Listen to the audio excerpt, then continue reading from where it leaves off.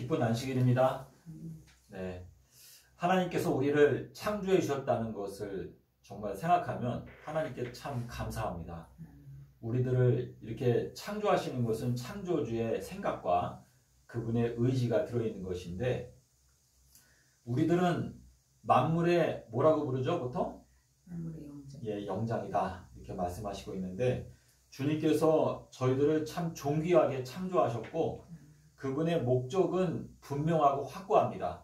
그리고 우리가 아까 찬미를 부를 때 이 말씀을 보니까 우리가 하나님을 사랑한 것이 아니고 하나님께서 우리들을 사랑하셨다라고 이렇게 말씀하시고 있는데 이 사랑이라고 하는 것은 하나님께로부터 우리에게 흘러오고 그리고 그 사랑이 우리의 마음 가운데 느껴지게 되면 또 우리가 그 사랑을 하나님께 다시 돌려드리는 그래서 이 온 우주는요 다 사실상 하나님 아버지께로부터 생명수의 강이 흘러나와서 우리의 마음을 적시고 또다시 그 감사의 찬송이 하나님 아버지께로 돌아가게 되는 아주 커다란 대순환이 이 온 우주를 지금 관장하고 있는 것이죠. 그렇죠? 그래서 하나님께서는 우리들을 완전한 새 예루살렘의 이 건축의 한 부분으로 우리들을 세우시기 위해서 그분의 보혈로 뭐가 떨어졌어요? 어, 제가 네. 네, 그렇게 저희들을 이 창조에 속하지 아니한 창조 속에 저희들을 불러주셨는데 하나님 아버지께 너무나 감사를 드리고 우리가 이 안식의 시간에 들어왔다는 것 이것이 참 너무나 기쁜 것 같아요. 예수님께서 제자들에게 말씀하셨죠. 너희 전에 살았던 여러 의인들과 여러 선지자들이 너희들이 보고 듣는 것을 그렇게 보기 원했고 듣기 원했지만 그들은 너희가 이 때가 안 됐기 때문에 듣지 못했지만 너희들은 보고 듣기 때문에 복이 있다라고 이렇게 말씀하셨습니다. 자, 하나님께서 나의 그 알곡들을 사람을 오빌의 금처럼 희소하게 하겠다라고 이렇게 말씀을 하셨거든요. 자, 기도원의 군사들을 부를 때 몇 명을 불렀죠?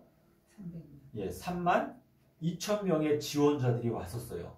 자, 그런데 이 3만 2천 명의 그 지원자들을 하나님께서 다 집으로 돌려보내시고 마지막으로 딱 300명을 선택을 하셨는데 이 기도원의 병사들의 특징은 뭐였어요? 그 사람들은 물을 마실 때 어떻게 마셨죠? 엎드려서 마시지 않고 손으로 떠서 마셨는데 그것은 이 기도원의 군사들이 갖고 있었던 기본적인 마음의 자세를 말하는 것이겠죠. 그래서 주님께서는 이 마지막 때에도 침례 요한의 때로부터는 천국이 침노를 당하고 있는데 침노하는 자는 빼앗게 된다 라고 말씀하셨는데 그것은 우리가 예수 그리스도의 그 보혈의 그 가치를 어떻게 생각하느냐에 따라 자 예수님께서 우리에게 주려고 하는 건 뭐예요? 돈으로 주고 살 수 없는 것. 이거는 어떠한 가치를 지불하고도 절대로 그것을 얻을 수가 없는 너무나 귀한 것을 우리에게 주려고 하시는 것인데 그 가치를 알아보는 사람은 그것을 얻기 위해서 어느 정도 노력을 기울일까요? 자, 우리가 이 세상에서 예수님께서 이렇게 말했어요. 이 세상에서 지혜 있는 자들보다 하나님의 자녀들이 오히려 미련한 경우가 있다. 라고 말씀하신 것은 무슨 뜻일까요? 이 세상 사람들은 이 땅에서 사는 70년의 생애 동안에 돈 잘 벌고 그리고 명예도 얻고 기쁘게 즐겁게 떵떵거리면서 사는 것이 이 세상 사람들이 목적인데 그것을 얻기 위해서 사람들은 정말 필사의 노력을 기울이는 사람들이 많이 있습니다. 하지만 주님께서 이 마지막 때에 남방 여왕이 이 세대 사람들을 정죄할 것이다 라고 하는 말씀을 하실 때 왜 그 말씀을 하셨죠? 남방 여왕은 땅 끝에서 살고 있던 사람이었지만 지혜를 얻기 위해서 그 땅 끝에서 먼 길을 마다않고 솔로몬을 찾아왔어요. 그런데 주님께서는 나는 솔로몬보다 더 큰 자다라고 말씀하시면서 너희가 이 하나님의 지혜, 전능자의 지혜가 요나의 표적 속에 숨겨져 있는데 너희가 이 지혜의 말씀을 듣고 깨닫기 위해서 남방 여왕만큼도 노력을 기울이지 않고 있는 너희들의 현실을 생각하면 나는 너무나 마음이 아프다. 라고 말씀을 하시는 것인데 주님께서는 이 마지막 시대를 무엇 내다보시고 인자가 올 때의 믿음을 보겠느냐 라고 하는 그 말씀은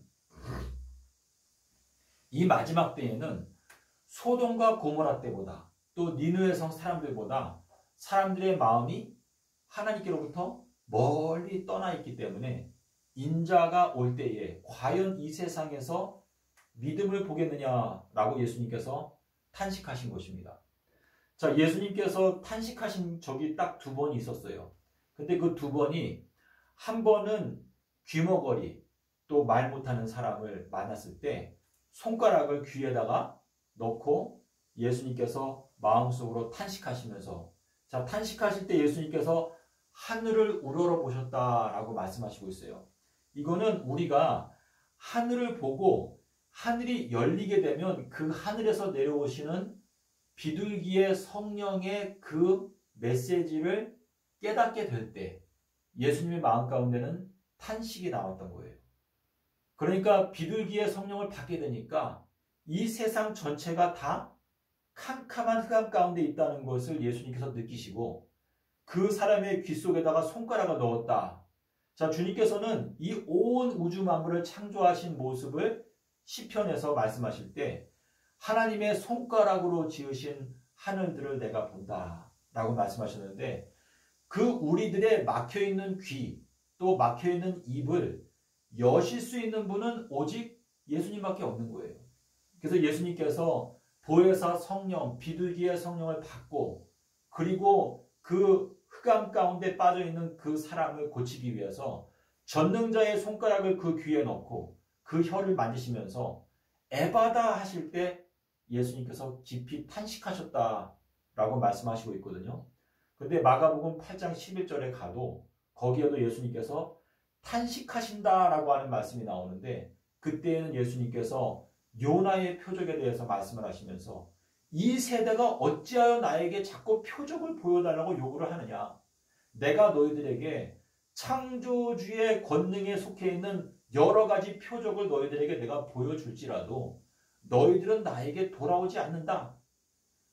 출애굽할 때에 모세가 아홉 가지 창조주의 권능에 속해 있는 놀라운 기적들을 행했지만 바로의 마음이 돌이켜지지 않았던 것처럼 너희들은 내가 너희들을 아무리 창조주의 권능으로 살린다 하더라도 너희들은 나의 십자가의 그 희생의 의미를 받아들이지 아니한다면 너희들의 마음은 결단코 나에게 돌아오지 않을 것이다.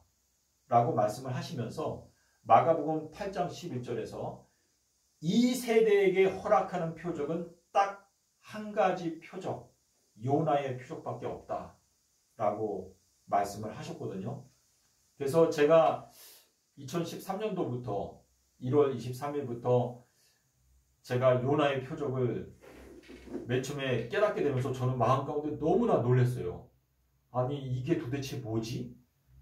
꼭 정말 보화를 발견한 것처럼 그 밭에 감추인 보화를 발견했던 사람처럼 제가 2013년 1월 23일 날 수요일 날 마태복음 12장 40절을 보다가 과거에도 제가 봤겠죠. 근데 제가 그날 마태복음 12장 40절을 보는데 갑자기 눈이 번쩍 떠지는 거예요.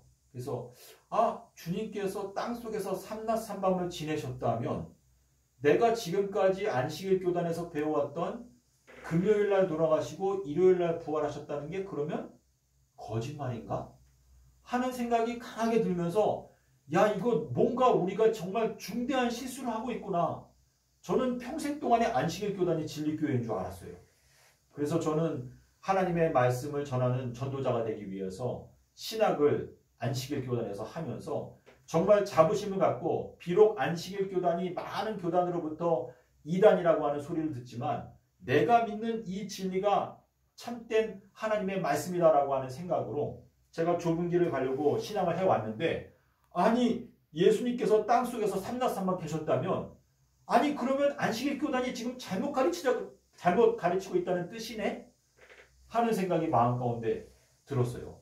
그래서 제가 이 성경 사전 또 성구 사전 원어 성경을 사서 두 달 반 동안의 성경을 연구하다 보니까 두 달 반이 딱 지나고 나니까 저의 마음 가운데 정말 반석과 같은 확신이 딱 마음 가운데 자리 잡게 되는데 그 두 달 반을 지나면서요 저는 마음에는 너무나 두려웠어요. 내가 알기에 엘렌지 화인 여사는 선지자이고 선지자가 기록된 선지자가 그 기록한 내용을 믿지 아니하는 사람은 멸망을 당한다라고 하나님께서 이사야서 8장 20절에 적어 놓으신 것 같은데 마땅히 율법과 선지자의 증거를 조칠지니 만일 그들이 말하는 바가 이 말씀에 맞지 아니하면 그들이 정령의 아침빛을 보지 못한다라고 하는 그 말씀을 제가 많이 들었거든요. 그래서 마음 가운데 너무나 두려운데 화인 여사의 글을 살펴보고 성경을 살펴보고 인터넷으로 달력을 살펴보고 하는데 저는 너무나 마음이 두려웠어요. 그런데 마음 가운데 끊임없이 일어나는 여러 가지 그 모순되는 것들, 마음 가운데 부딪히는 것들을 살펴보기 위해서 계속 성경을 보다 보니까 점점 마음 가운데 있었던 의문들이 풀리고 아 하나님께서 왜 여호와의 책을 너희들은 자세하게 살펴보라라고 하는 말씀을 하셨는지 그 이유를 제가 알게 되었어요. 아, 이 현 기독교의 지도자들이 물론 여러 가지 수고를 많이 했죠. 너무나 고마워요. 이렇게 놀라운 거를 이렇게 다 번역한 분들이 다 피땀을 흘려서 번역을 해 놓은 것인데 그분들도 사람이다 보니까 이거를 번역하다가 하나님의 말씀을 엉뚱하게 오역한 게 있어요. 그래서 마태복음 28장 1절을 보니까 안식일이 다하여 가고 안식 후 첫날이라고 한글 성경에 번역되어져 있는데 제가 원어 성경을 자세하게 살펴보니까 아 그게 아니에요. 일주일이 저물고 주일 중 첫날이 올 때에 예수님께서 부활하셨다 라고 기록되어 있는 걸 제가 살피게 되면서 야 하나님의 말씀을 이 마지막 때 인터넷을 통해서 원어 성경도 자세하게 확인할 수 있도록 주님께서 다니엘 선지자를 통해서 말세에 많은 사람들이 빨리 왕래하게 되면서 지식이 증가하게 된다라고 하는 그 약속이 오늘날 성취되고 있기 때문에 아, 이 요나의 표적 예수님께서 수요일에 돌아가시고 일요일에 부활하셨다라고 하는 이 진리를 깨닫게 하기 위해서 하나님께서 이 세상에 있는 수많은 과학자들에게 지혜를 주시고 스마트폰을 만들게 하시고 전파를 주시고 모든 것들을 다 준비해 가지고 아 내가 이거를 깨달을 수 있도록 주님께서 다 준비해 놓으셨구나 하는 걸 제가 깨닫게 되면서 저는 제가 2013년도에 여러 가지로 마음에 정말 어려운 시절을 보내고 있었는데 주님께서 그 말씀을 깨닫게 하시면서 아 주님께서 나에게 이 진리의 빛을 알려주시고 정말 주님 너무나 감사합니다 하는 생각이 저의 마음 가운데 들었어요. 그래서 저는 2013년도부터 이 성경을 그 한 해 동안 연구하다가 2013년도 가을쯤 되니까 이제는 딱 그림이 그려지는데 아 그러면 예수님께서 2030년도 4월 18일에 오시게 되겠구나 하는 생각이 마음 가운데 딱 들게 되었습니다. 그런데 제가 그걸 말하지는 않았어요. 왜냐하면 좀더 확실하게 알아야 되기 때문에 그냥 기도하면서 한 6개월 정도를 지내고 있었는데 2014년도 4월달 28일 날 저녁에 밤 11시쯤 되었는데 제가 졸린데 누워가지고 그냥 비몽사몽간에 노트에다가 제가 이렇게 막 뭘 그리고 있었어요. 근데 저는 가장 마음 아팠던 게 뭐냐면 재림교회가 1844년에 대실망을 겪고 지금까지 하나님께서 하늘의 달을 얼마나 많이 달을 띄워주셨는데도 불구하고 서기 31년도에 보름달이 뜬 날이 월요일이고 아 화요일이고 6월절이 월요일이었다는 것을 왜 깨닫지 못했을까? 이것이 저는 너무나 마음 가운데 답답하고 한심했어요. 그래서 저는 그때 밤에 제가 달을 직접 보면서 재림교회가 지금 갖고 있는 그 해석이 진짜로 합당한가? 제가 달을 직접 보면서 달력도 만들어 보고 하면서 아니 재림교회는 서기 31년도에 예수님이 금요일날 돌아가셨다고 가르치고 있는데 제가 달력을 확인해 보니까 서기 31년도에는 보름달이 화요일날 떴어요. 6월절이 월요일이었어요. 자, 일주일이라고 하는 것은 이렇게 빙빙 도는 거죠. 그렇죠?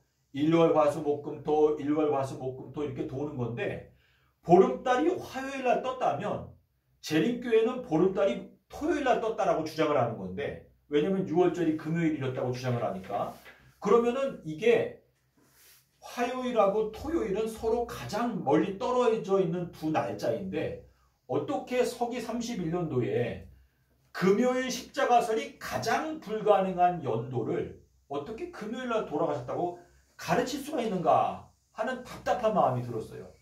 그래서 제가 2024년 아 2014년도 4월 28일 날 저녁에 도대체 달이 몇 번이나 떴는지 달 숫자를 제가 세어보기를 시작했어요.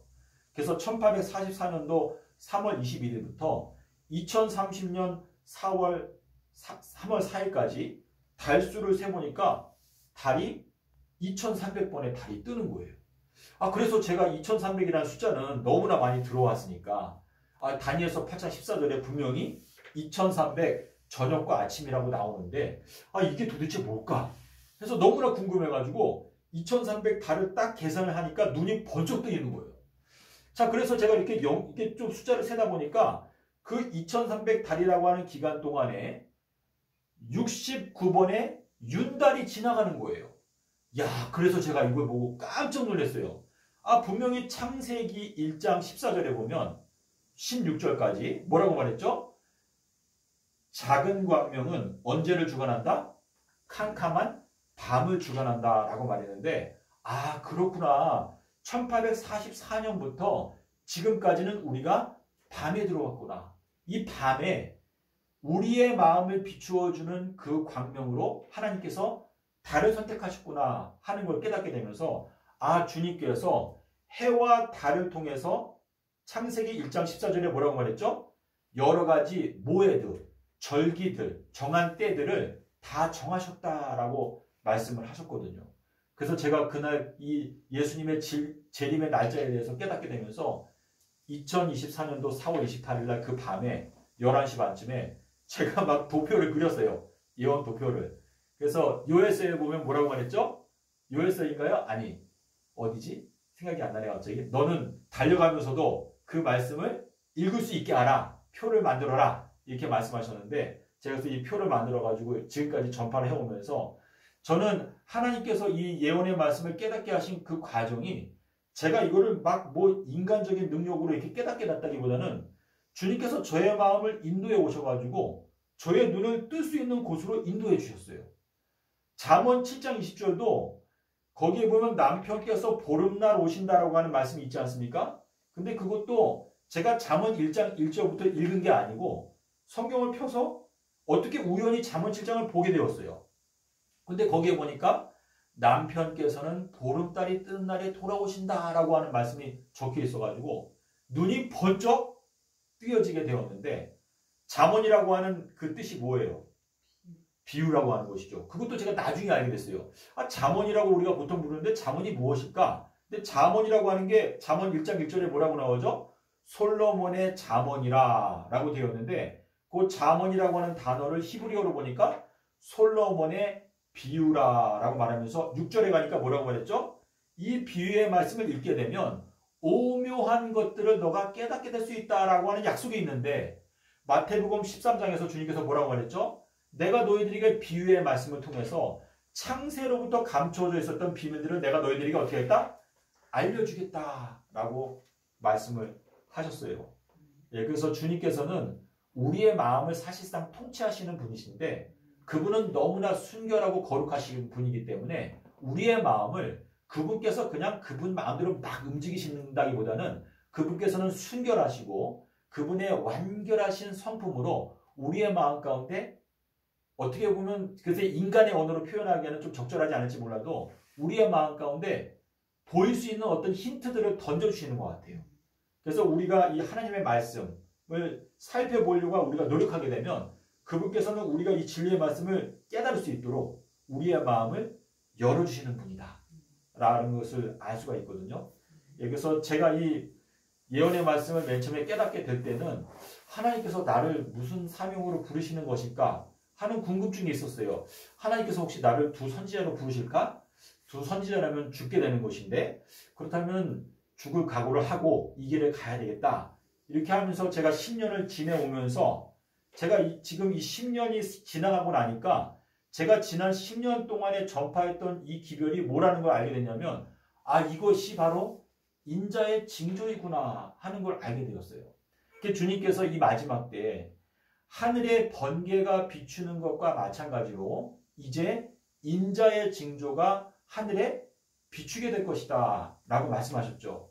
근데 이 하늘에서 내려오는 징조는 참된 선지자가 증거하는 징조가 있고 또 거짓 선지자가 증거하는 징조가 있다라고 말씀하시고 있죠. 그래서 이 마지막 때에는 이 거짓 선지자의 미혹으로 말미암아 이 온 세상이 다 미혹을 받게 될 것이다 라고 말씀하시고 있는데 계시록 13장 13절하고 19장 20절에서 이 거짓 선지자는 너무나 많은 표적들을 행하고 심지어 하늘에서부터 불이 내려오게 하는 표적을 행함으로 말미암아 이 세상 사람들 다 미혹해가지고 누구한테 경배하게 하겠다고 그랬죠?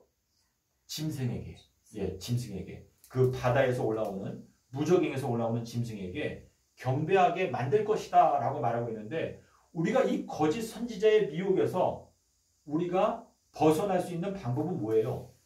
참된 예수님의 증거, 참된 예수님의 표적, 인자의 징조를 깨달아야 저희들이 그 미혹에 빠지지 않을 수 있다라고 하는 의미인데 자 하나님의 보좌가 있으면 그 보좌 주변에 뭐가 있다고 그랬죠? 내 생물이 있다라고 말했는데 이 생물이 어떻게 한다고 그랬어요?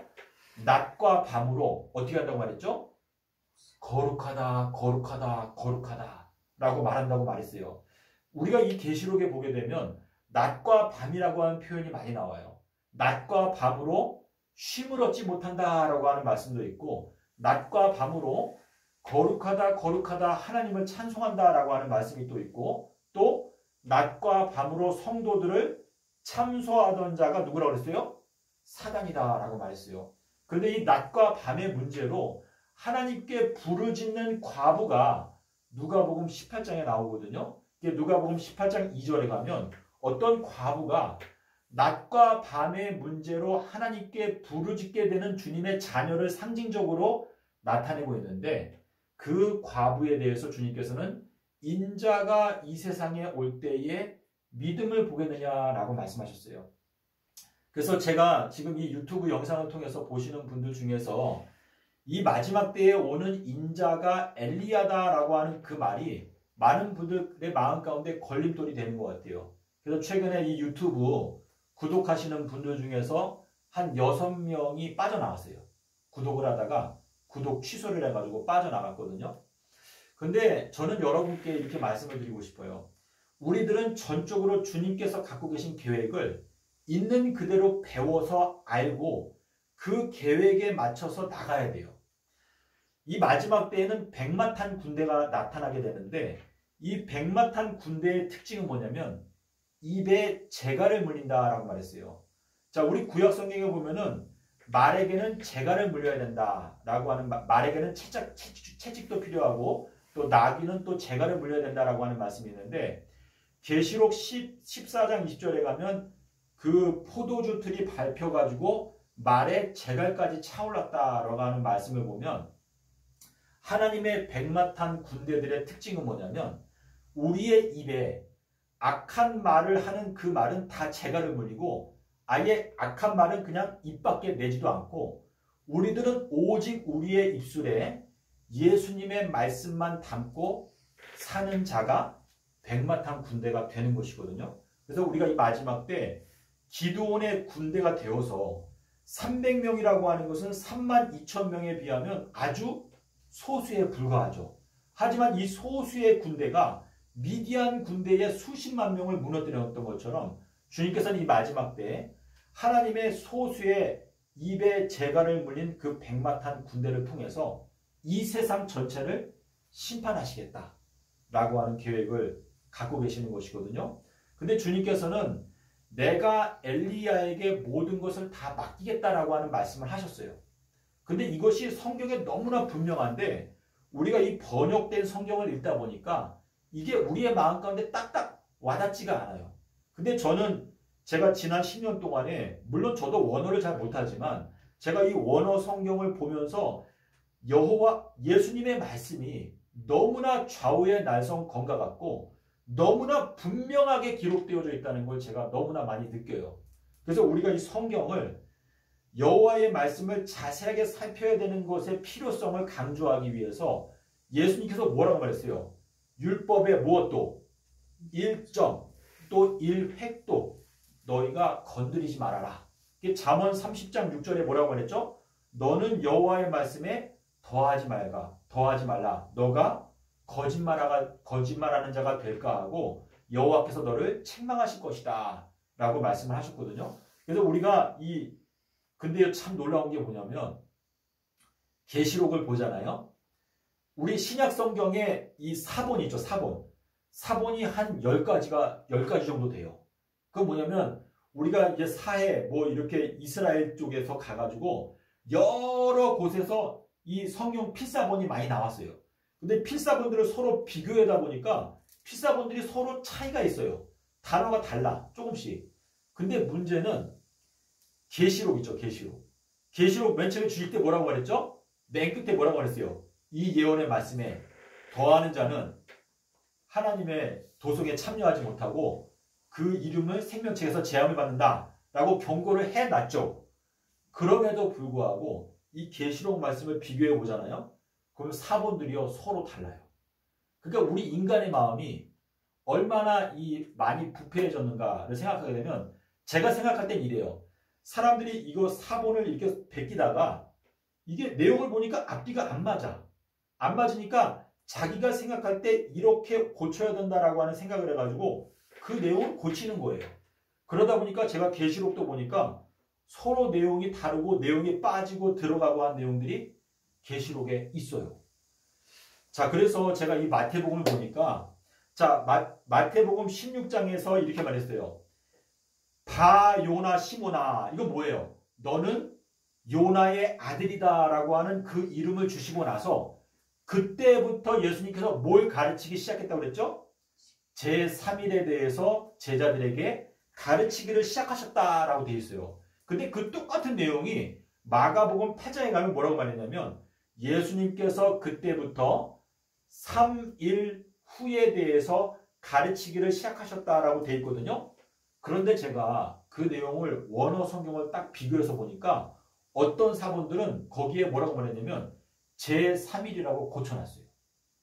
그러니까 우리가 이걸 보면은 어떻게 알 수 있는가 하면 마태복음하고 마가복음은요. 이 두 개가 달라요. 마태복음은 서수에 대해서 기록했고 마가복음은 기수에 대해서 기록했어요. 자, 서수는 뭐죠? 첫째 날, 둘째 날, 셋째 날 이게 서수예요. 근데 마가복음은 기수기 때문에 3일 동안에 땅 속에서 지내신 다음에 부활하시겠다라는 것을 말씀하신 게 마가복음이거든요.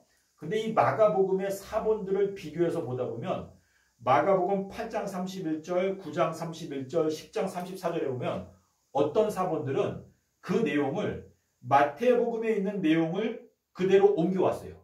그래가지고 사람들이 이거를 필사를 하다가 마태복음에 제3일이라고 기록되어 있으니까 다시 말해서 제3일에 대해서 가르치기를 시작하시니라 라고 기록해 놨잖아요.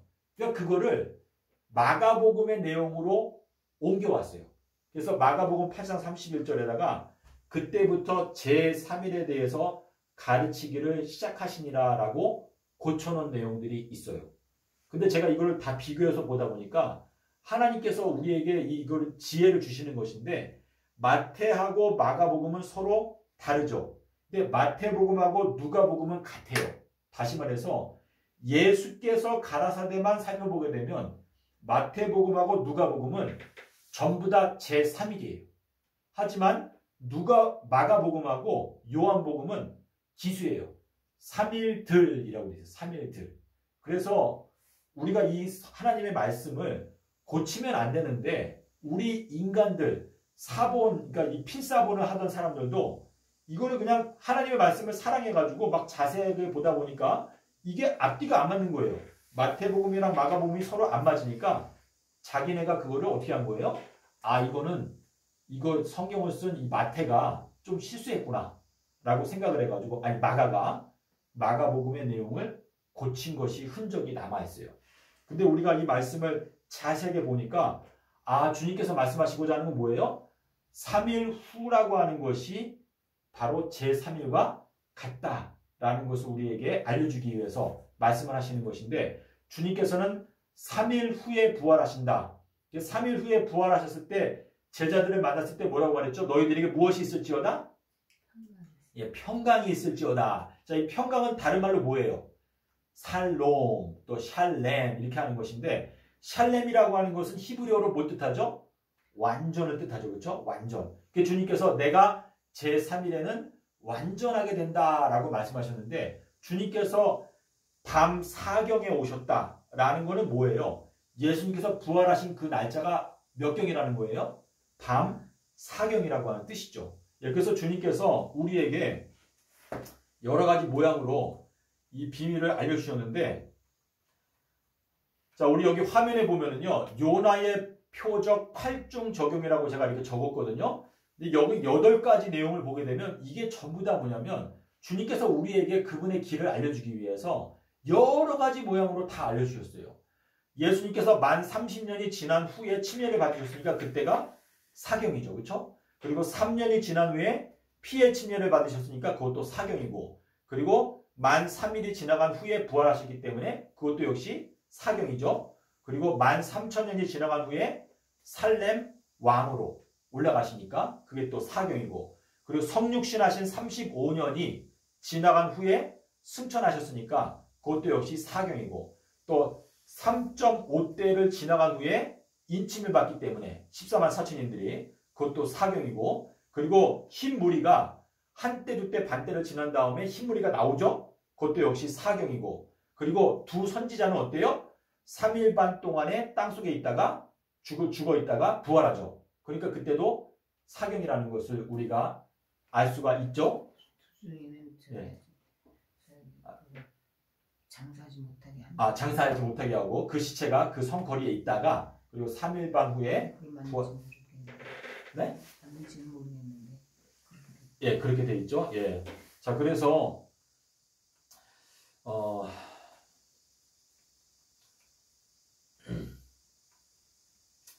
자, 우리 여기 화면에 보시면 주님의 목전에 천년은 밤의 한 경점과 같다. 라고 하는 이 말씀이 굉장히 저는 보수것 같아요.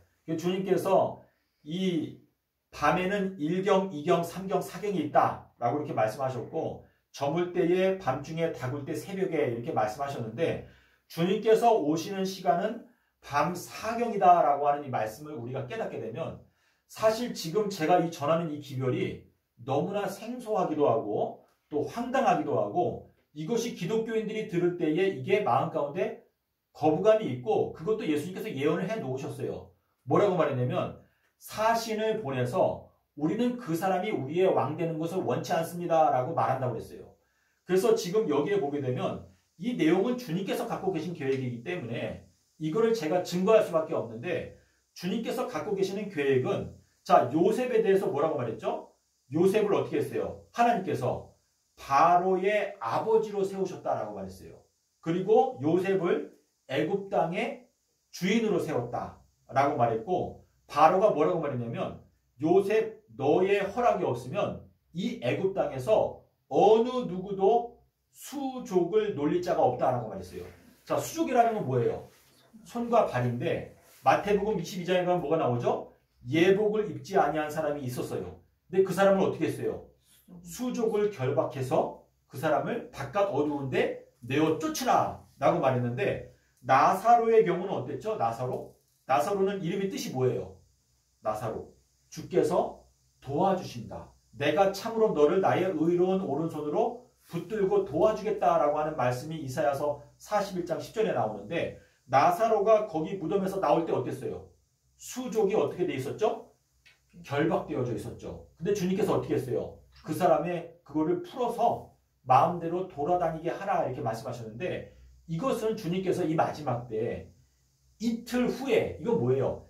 2000년이 지나간 다음 해를 의미하는 것인데 사실상 저희들은 지금 2000년이 지난 다음에 들어왔다라고 말해도 되는 것인데 그건 뭐냐면 예수님께서 탄생하시고 서기 2000년이 지나갔죠. 그래서 이 이틀이 지나가게 되면서 우리들은 어떻게 되는 거예요? 주님께서 도와주시는 사람들은 손과 발이 자유를 얻어서 바른 길로 갈 수 있는 길을 발견하지만 예복을 입지 않